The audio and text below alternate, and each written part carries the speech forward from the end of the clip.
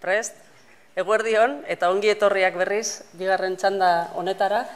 E, Oraingo tarte honetan, hemendik eta ordu batak arte, Nagore Ipinak eta, eta Itziar Garziak azalduko digute kolaborategiaren e, nondik norakoak, helburuak eta gaur egun zertan gabiltzan.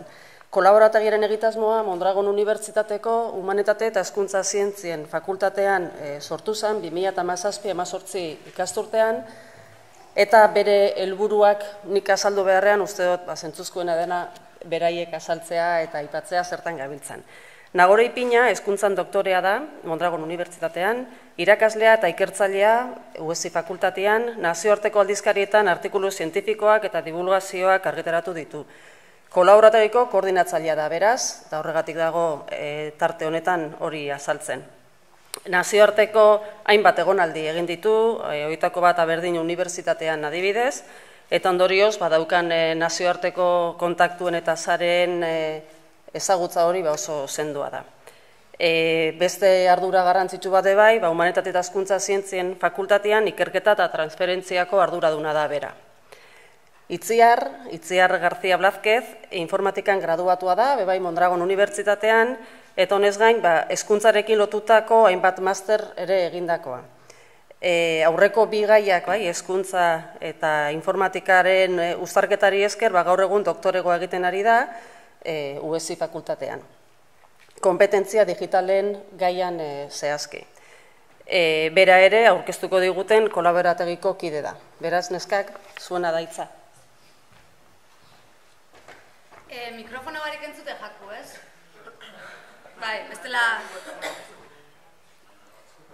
Bestela eskuku hartuko, bezke horre gotia geldi ez?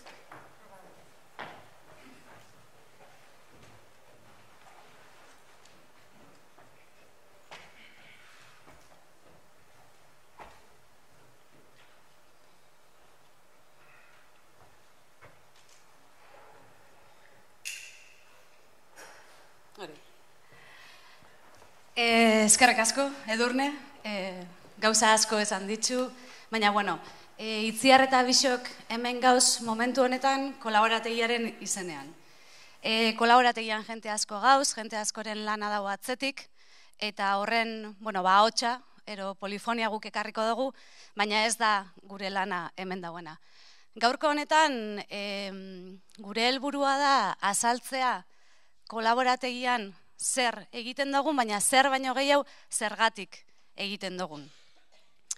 E, lehengo aldisa da, egisa esaten baldin badau, horrelako aurkezmen bat egiten duguna, e, jaio berrixa gara, nola esateko, eta Antonioren hitzaldiaren ostean, ba ez jaku errez, ez da erresa. Orduan, saiatuko gara alik eta hobetuen egiten, baina, bueno, e, ordanok goixan gauz, eta oina berre, zela heltzen dut zauen guk erronka horrei. Lau zatitan banatu dugu gure aurkezpena, lehengo kolaborategia kokatzeko helburuz bitz esango ditugu, Kolaborategia bada hezkuntzatik eta komunikaziotik egiten dan proposamen bat, eta horregatik gizarte digitala bi esparru horreitatik nola ulertzen dugun partekatu nahi dugu zuekin, Etorkizuneko gakoak lantzen horretan kokatu ditugu momentu honetan egiten gabizen hainbat esperientzia esparru ezberdinetan, bai unibertsitatean, bai eskolan eta bai sozializazioari begira, eta gero, hau ez da azkenengo bertsioa, ze ondarrek atxe dauka. Sorry. E, baina, bueno, igual dut. Azkene ondarritzak, apur bat, e, bueno, ba, ondorio bezala, ero planteatzen ditugun erronkei begira. Eta hau bai da zerbait zuekin ez datu nahi ginuana, ez kontau, baizik eta ez datu.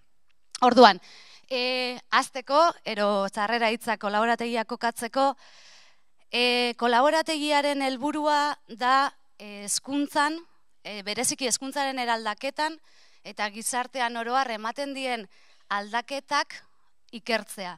Baina aldaketa horrek bereziki fokatuta ero harreta jarrita e, digitalizazioaren rolan. Egia da, e, esperimentatu nahi dugula, egiten dugun horretatik hausnartu, baina bai espazioak sortu be bai etorkizunak guk geuk eraikitzeko. Antonio Klenbe aipatu dau, ezta? Eta aukera berriei be bai espazioa zabaldu nahi dut zau. Bildurre gabe, egia da, usardia behar dala, Eta ez daukagula beldurrik apurtzeko, ez daukagula beldurrik gauzak gaizki egiteko. emongo dotzagu buelta eta jarraituko dugu aurrera. Eta hori bai da kolaborategiaren nola izateko ideia gako, gako bat. E, baina guk bakarrik ezin ditugu gauzakin, eta gero ikusiko zuen moruan hezkuntza komunidadea sartzen da barruan. Horregatik nahi dugu kolaboratu, erakunde ezberdinekin, e, izan publiko, pribatu horrez gara ez da horreitan sartuko momentu honetan, baina bai e, kolaborategiaren oinarria kolaborazioan dau. Eta etorkizuneko tendentzien identifikazio saiakeran, e, berrikuntza prozesuak azeleratzen lagundu, baina beti be ikertuta, eta e, nazioarteko taldeekin e, elkarlanean e, jarduten. Orduan, kolaborategia bai da laborategi bat, baina bai da kolaborazioan oinarritutako laborategi bat. Hori da. Orduan, hiru hiru eragin esparru ikusten ditugu alde batetik unibertsitatea bera, e, etxetik hasi nahi dugu, hori egia da. Eskolak, e, gure aliatu naturalak eta nahi ditugunak gainera eta gizartea bera. Eta hiru e, eredu, ero hiru aukera eragiteko alde batetik aholkularitza eta formazioa, abizen bat jarri dut zau aholkularitza horrei, aholkularitza radikala, esperimentazioa eta ikerketa eta zabalkundea. E, hemen e, gauzen guztixok argi daukau gizarte digitalaren erronkak, e, aldaketak, ondorioak, zeintzuk izan aldien, ero behintzat horren inguruan pentsatu dugu. Antoniok berak ez da e, iragana etorkizunaren inguruko e, relato horretan emondozku hainbat pista, eta egia da gizarte digitalak jaz, e, uki izan dituela hitz desberdin asko. Batzuk pertsonaren, e, pertsonaren atributoekin bat datozenak, eta beste batzuk nahi ditugunak edo ez ditugunak nahi. Baina, bueno, argi dauena da, e, momentu honetan eta jararik aipatzen dauen moruan, gure gizartearen izendapen guzti hoiek batzen dituen terminoa, hau izan aldala, ez da horrek ikusten dozuena, utru, unprecedented transformation and radical uncertainties. Oin gutxi arte buka erabiltzen zen, baina bai azkenengo urtietan e, aldaketa emonda e, utru terminoaren e, erabileran. Orduan, e, asko izan lezke eraginak, asko ondorioak, egisa da gutxi dakigula ondorio, ondiok bereziki ondorioen inguruan, baina bai ikusten die zantzu batzuk gure pentsatzeko moduan dauken eraginekin. Bai ikusten da e, gizarte digitalak eragina daukala gure konportamentuan. Eragina daukala gure baloreetan. Eragina daukala gure komunikatzeko moduetan. Eta nola ez gure ikasteko moduetan. Ondorioak mila, abiadura. Gabiz e, alde batetik bestera korriketan. Gube ontxe be bai urduritasuna bialuta baina, e, bultzatuta baina korrikan gabiz hitz egiten. E, berrikuntza da etengabea. Jon Altunak be kontau duzkuain bagauza. Ez jakintasuna, e, ziurgabetasuna Antonio kaipatu da moruan. Eta eten digital berriak. E, ez teknologia daukenak, ero ez daukenak, baizik eta erabiltzen dakienak, ero hortaz hausnartzen dauenak, eta ez, da, ez dauenak. Baina egia da hasieran hasieran gauzela. Eta hasiera honen hainbat pista itziarrek eman guzkuz.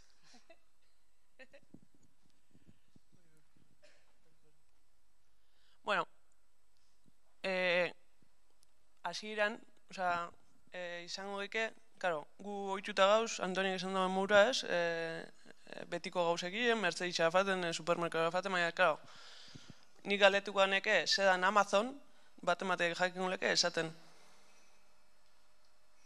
Osa, una definición de lo que es Amazon. ¿Qué es Amazon? Zer? Correos bat. Correos bat, vale. Sege isau. Baita. Ezin edaki Amazonek hasi dala jendia kontrataien porroraz.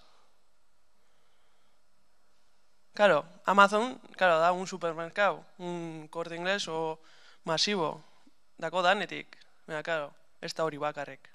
Eta aparte, dako gure tatu danak, nun bizigaren, nun e, zela pagairen duen, zeintzu gure guztuak. Facebook, oh, Zer da, Facebook, ez? Gaur egun, ja. Zare sozial bat baino, gixo dala esango neke, ja. Ja, enez atrebiren zedan Facebook esatera bez, así que... Twitter, beste zare sozial bat. Uber. Zer da, Uber. Bat ematek esan leke? Kompetentzia eta asistentako.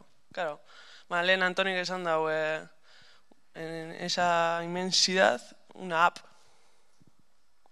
Pero no hay distancia. ¿Dónde está Uber? O sea, ¿quién es Uber?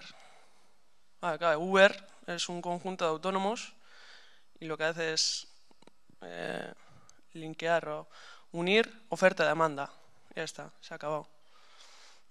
Uber, Airbnb, todas las apps. Ya no hay distancia, ya se ha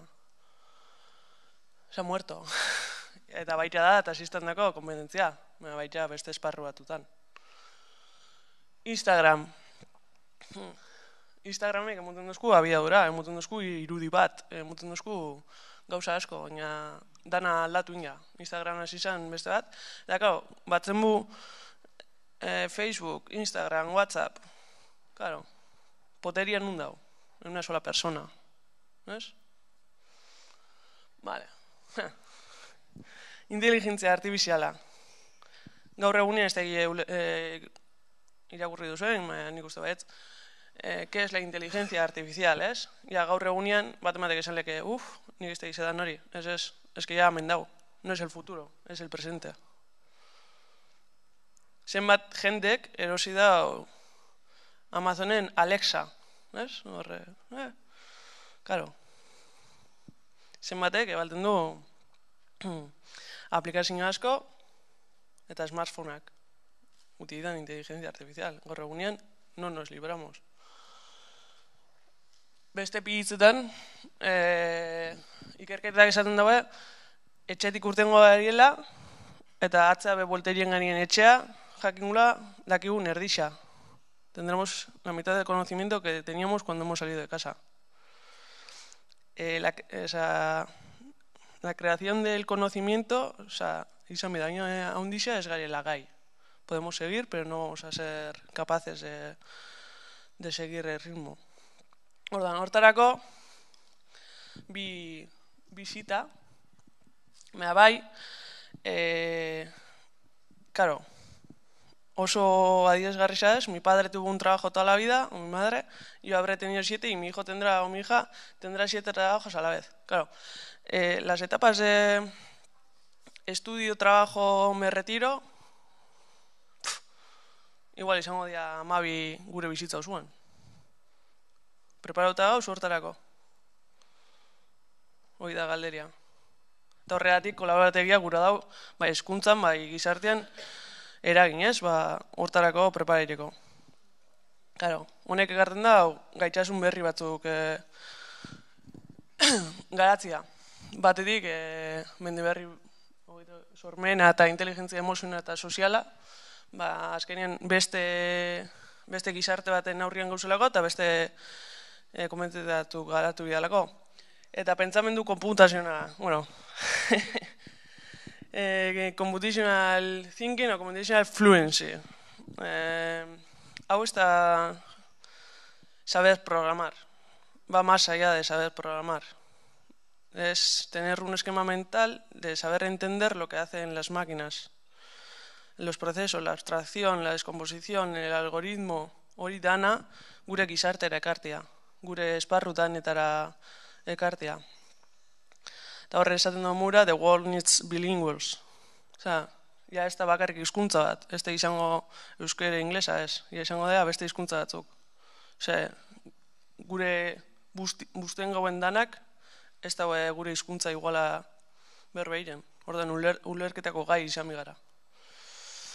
Eta bain, ba, etorkizuneko gako lantzeko, ba, hause, guruzu, zuk.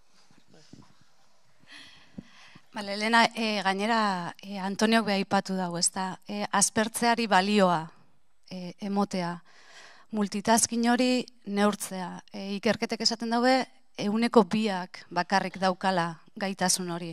Besto danok, atenzinua foko baten jartzen dugula, e, sormena behar dugula, e, behar ditugula pentsatzeko ez, e, momentuak, behar ditugula arnazguneak, behar ditugula hausnarketak. Orduan, hortik abiatuta eta itziarrek aipatu dituen beste ezaugarriak kontutan hartuta, gure e, kolaborategiaren naia bada etorkizuneko gako hoiek lantzen joatea.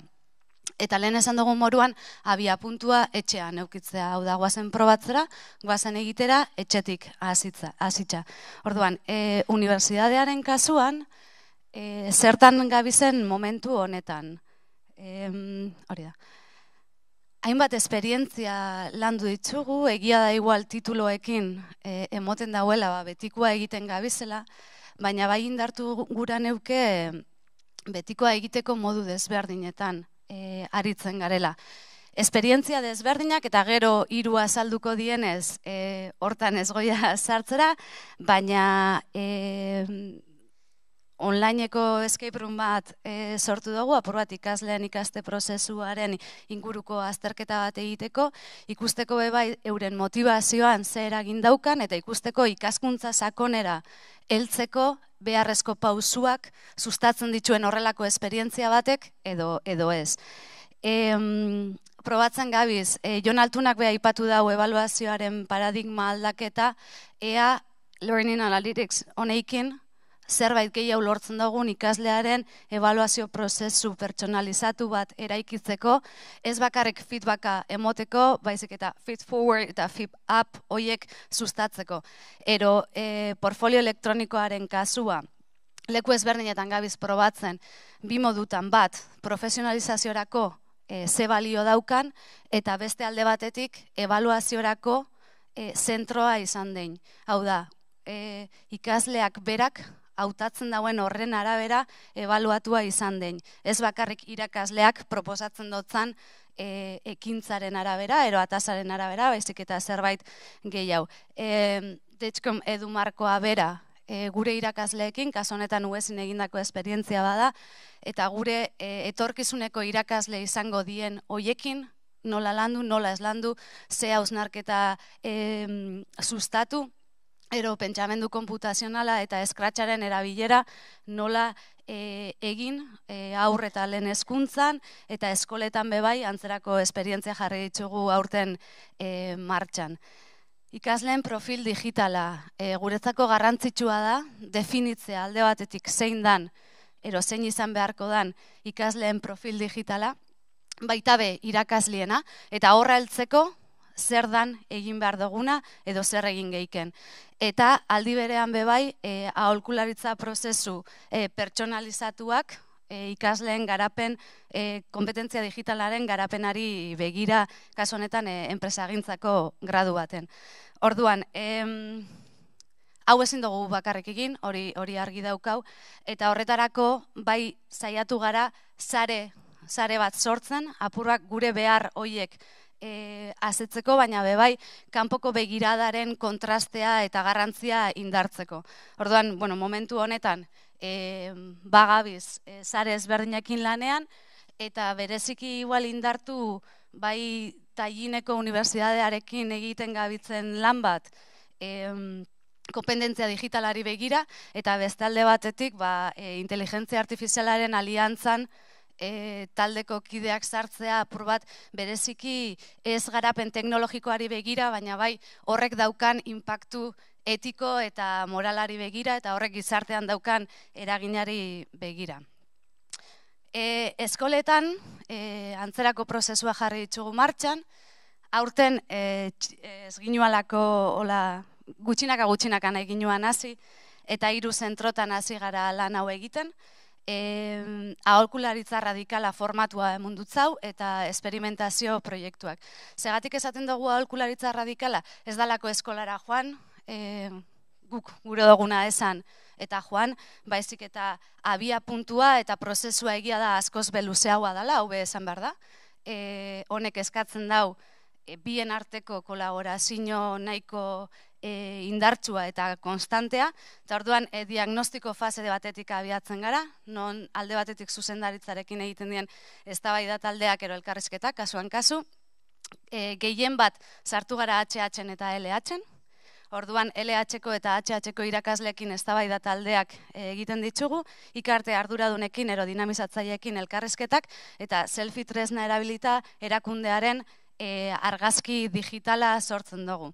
Orduan, informazio guzti horrekin egiten duguna da, e, aztertu, zer dauen, zer ez dauen, eta e, klaustro guztiarekin dinamika batzuen bidez lehentasunezko proiektuak identifikatzeko e, dinamika ezberdinak egin.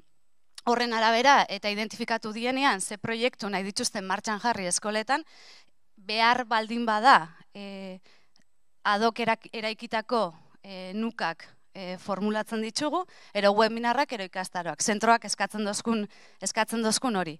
Eta behin hori amaituta eta ikusita e, danok hizkuntza berdina hitz egiten dugula, orduan e, implikatuekin azten gara diseinuak erabaki dituzten proiektu hoien diseinuak egiten. Diseinuak e, egiterakoan, diseinua gelaratzen da irakasleekin, hau da irakaslea ez da bakarrik izten, e, diseinu berri horren aurrean, baizik eta akompainamendu radikal bat, horregatik ditzen dut zabalkularitza radikal bat, eukiko dau pertsona irakasle horrek, ero irakasle taldeak, eta horren inguruko hausnarketa dinamikak formulatzen die, egindakoetik e, ikasi eta hobekuntzak formulatze aldera. Eta amaieran berriz zikloa izteko e, zentro guztiarekin balorazio orokorra eta aurrera begirako e, berdizeinuak egiten die. Ze proiektu mota e, dauzkagu abian momentu honetan. E, e-portfolioa ere eskoletan, ez bakarrik unibertsitatean baizik eta eskoletan, evaluazioroko tresna bezala erabiltzea, eta honek eskatzen dau, kasu batzutan eskatu izan dau, evaluazio marko guztia aldatzea. Eta hori igual izan da balio erantzia, ez tresna bera, baizik eta evaluazio paradigman emandan aldaketa zentroan.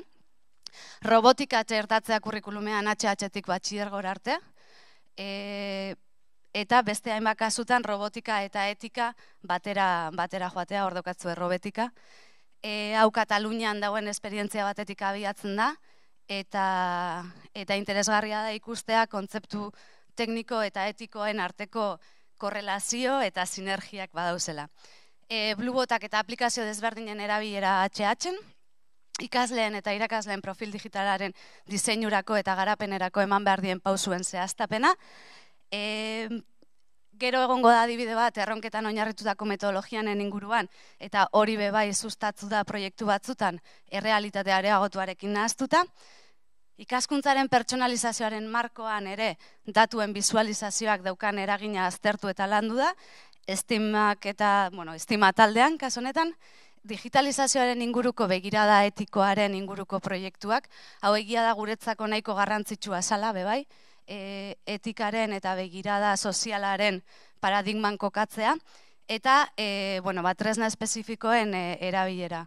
Lehen e, Antoniok edubotak aipatu ditu, bakaso honetan hizkuntzen lanketarako chatbotak erabiltzea edo, edo sare sozialak eta geogebra matematikarako adibidez.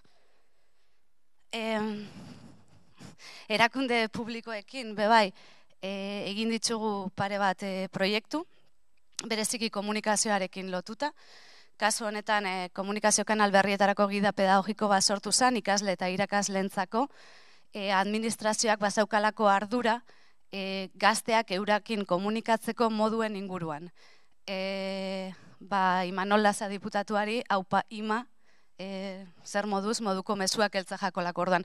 Behar hoietatik abiatuta, eraikizan gida bat, lantzeko ikaslekin eta irakaslekin nola eta zer, etorkizuneko hiritarren pertsepzioen inguruko lan bat e, egiten egin dugu Wikipedia eta Foru Aldundiarekin, etorkizuna ere ikiz markoan identifikatzen dien ideia gakoen definizioak etorkizuneko hiritarren e, pertsepzioetan ze eragin daukan ikusteko, eta e, bueno, ba, momentu honetan eta laborategi bat izan da, da ikerketan oinarrituta, ba, bai e, deialdi kompetitibo ezberdinetara aurkeztu ditugu e, proiektuak, ondiok ez dugu erantzunik jaso, baina espero dugu batero beste, behintzat etortzea, ez? Baina bai da saiakera bat, uste dugulako e, egiten duguna ikertu behar dela, ezin garela joan eskoletara e, metodologia hau, ero tresna hau, ero egiteko modu honek, e, eragin honek dauzka, ero ez dauzka eraginik, eta, eta horretarako ikertu, ikertu eta esperimentatu behar dela. E,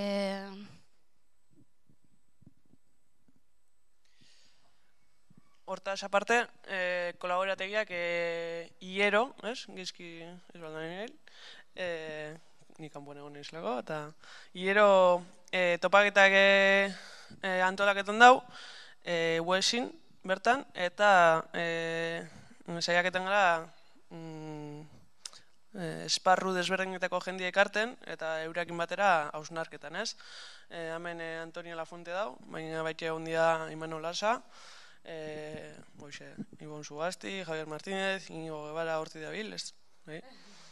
E, eta atzo bertan, e, Gema Kliment. E, bai egiten dena, e, sinianako fan, gero bideo bat graba uran e, ausnarketakin, eta tiptikuak e, sortzen dira.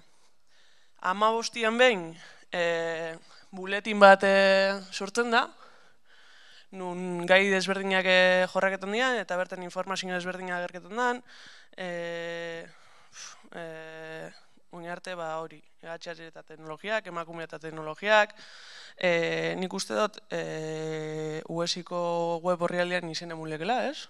Edo, ez dela Twitterren kolaborategi eto pein bertan e, izen emuneke, bat ematek egon dira izen emun.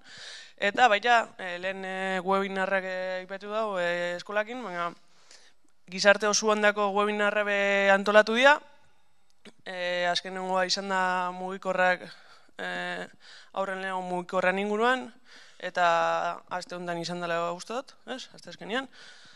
Hortan be, e, ba, en un formato comprimido, e, pequeñito, pues, se le da. Eta gainera be, grabo egiten da, bat emateek ez bau ikusi, berandu ikusi al izateko, eta kolaboratekiko YouTubeko horri aldien egoten dira. Ondarritzetan, hau ez da azkeno bersinua,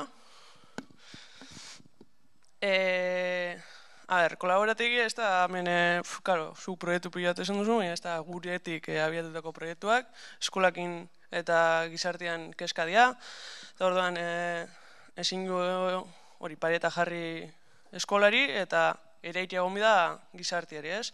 Eta hortarako, ba, tendentziak eta aukerak eta ikusi biditu, baina baita formazio, ez? Ze, hain dira, aldaketa kultural, kultural badatorrela, eta erantzun e, inbitxakola. Egisa da, e, aldaketa horreik, aldaketa prozesu batetik abiatu bidela, eta zertarako, zein euren helburua, porque askotan hemen adibidea jarritu, eta dana teknologiakin lotuta dauz, baina gauzia da, teknologia ebali biu. Igual da, no, o sea, el, la tecnología es el medio, no es el fin. ¿es? Si igual batutan esta teknologia ebali bihar gero beti beti ikerketa dautartian, ezin ja zeo zein ikertuarik, eta gero esperimenta humi da. Eta beti, beti, beti, parien dakotzunekin e, elkarrizketa dialogiko bat, edo entzumen, ez? E, Ausunarketa prozesu hortan. Eta jazta.